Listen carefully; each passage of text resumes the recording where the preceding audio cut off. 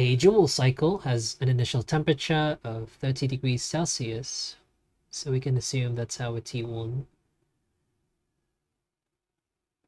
That is equal to 303 Kelvin. The compression ratio is equal to V1 over V2, and it's given as 6. The heat addition at constant volume, that's here,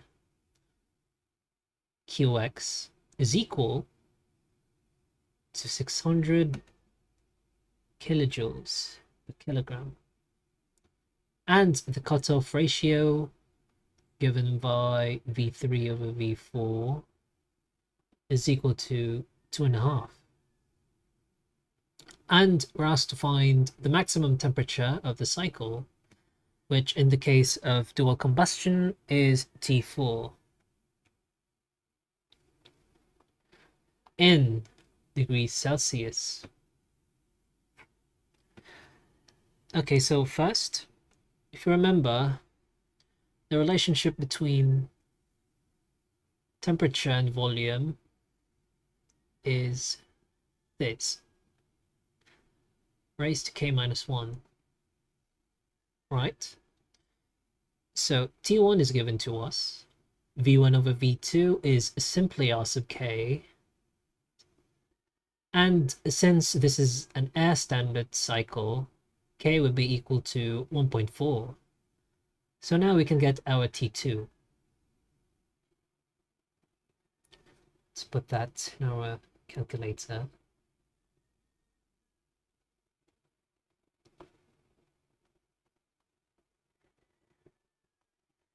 That's our R sub k.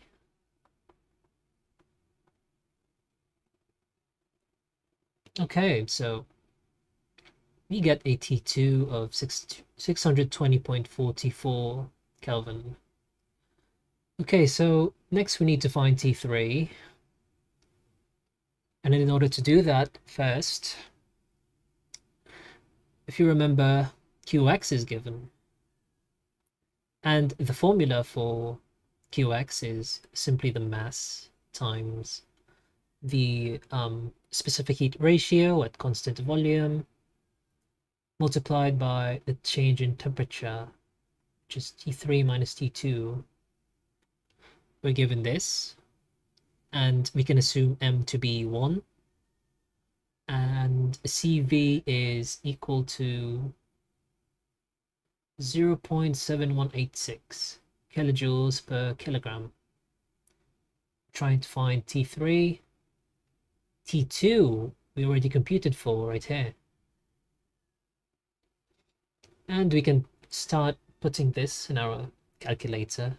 Qx is 600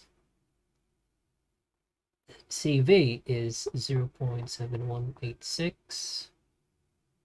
We're trying to find T3 and T2 is 620.44 and we get our T3 of 1455.4 Kelvin. Now if you remember again, the relationship between temperature and volume at this stage is T4 over T3 is equal to V3 over V4. No need for our specific heat ratio because this is simply a straight line. Okay, so we have T3, that's right here. And look, this is already given to us right here. So all we, all we need to do to find T4 is multiply T3 by 1455.4 times two and a half.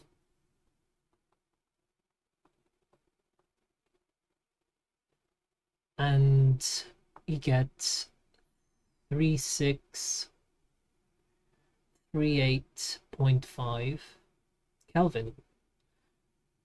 Now that would be our that would be our answer, but we should subtract 273 first to convert it into degrees Celsius. And that right there is our final answer. Be. If this helped you, consider supporting the channel, and I'll see you in the next one. Bye.